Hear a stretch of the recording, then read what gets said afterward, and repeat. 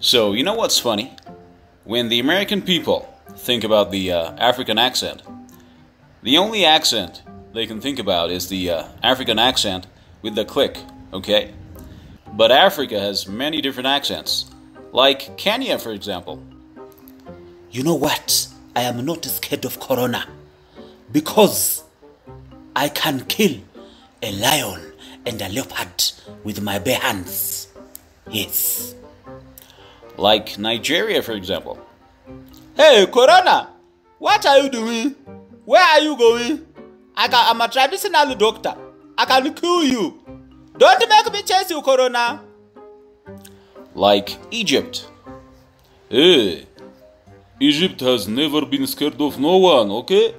The only thing uh, Egypt is scared of is uh, Egypt's corona, in short, is Ethiopia and the River Nile. Yes.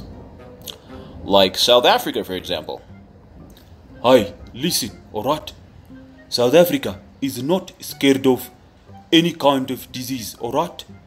The only thing that is more dangerous than corona is Julius Malema, alright?